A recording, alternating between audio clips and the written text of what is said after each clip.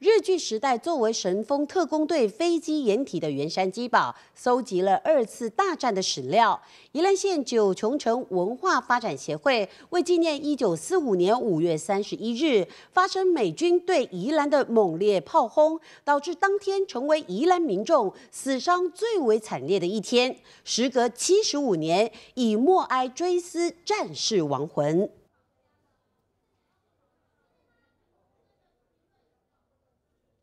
二零二五年五月三十日为宜兰大爆击的七十五周年，圆山基宝园区特别举办纪念音乐会。透过这个音乐会，然后让大家重新了解这段历史，因为过去资料的收集，还有大家呃老人家逐渐凋零，所以大家对这段历史已经逐渐淡忘。那如果说我们下一代都不了解这一段历史，那等于这个战争可能就会再发生。这场音乐会重现当时美美轰炸前夕就会使用的手摇空袭警报器，向民众预警。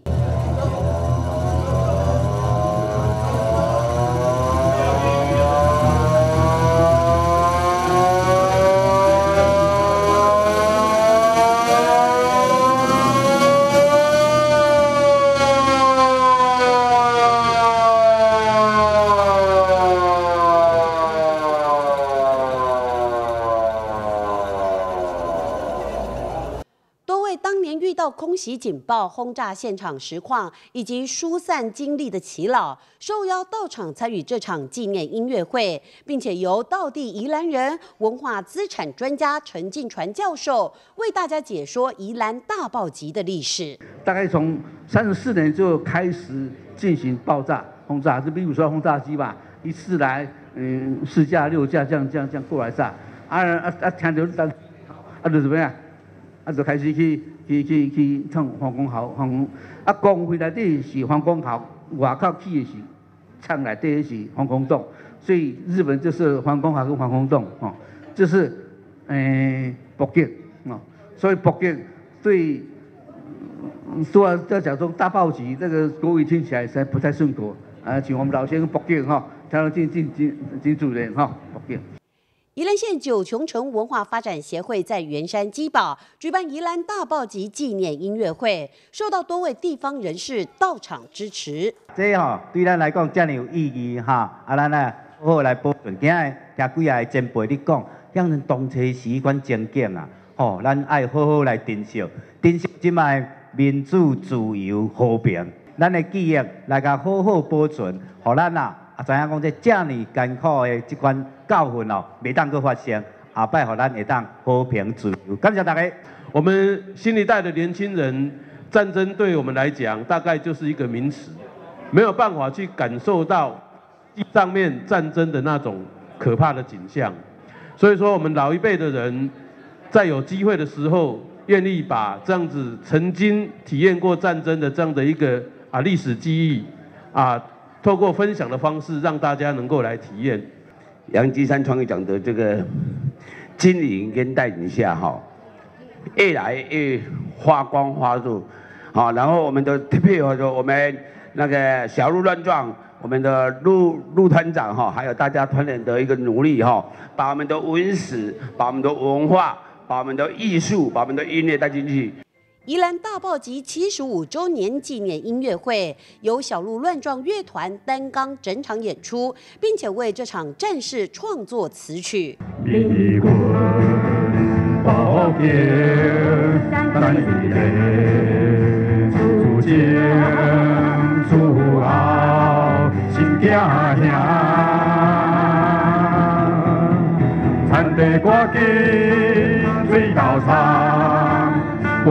命只有叫上天，大人听啊唱庙来，花旗都两转无惊，马祖是非正炸弹。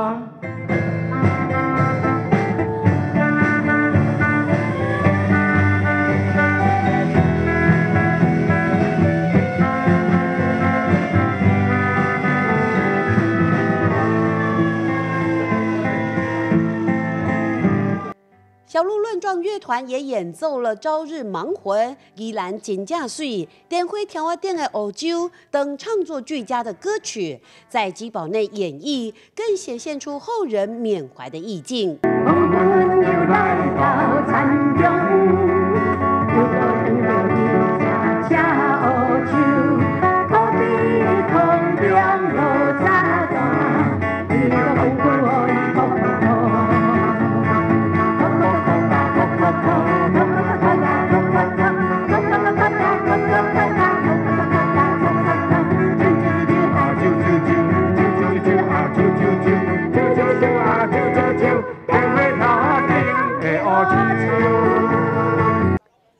活动由普及中小企业数位宽频应用计划、碎啦圆山山水物语漫游水源乡的支持，在基堡内彩绘了一面1945年5月31日宜兰大报集的林场绘图，由宜兰县九琼城文化发展协会理事长杨基山以说故事的方式揭幕。我们希望这个圆山基堡未来能扮演一个讲故事的地方，所以我们未来希望能够把这个彩绘的东西，诶，在这个地方用故事来呈现。其实这段这边彩绘墙哦，其实很有意思的哦。大家如果看这个降落伞在这里，对不对？这个就是刚刚刘先生讲的了。我就故意让他画进去，就是说降落伞在掉地这点对调点管啊。还有这里一个日历，写三十一号，就是这一天，double get，就是这一天。所以我们希望以后这里的彩绘能够说故事。就直接你看了，你就可以看到它的故事的。除了静态的彩绘墙之外，现场也展示许多数位设备、AI 机器人、触控平板和荧幕，透过让参与民众使用与互动，让纪念音乐会凸显台湾民众历经战事之后能安居乐业，处在自由、民主、和平的社会，是全民得来不易的历史资产。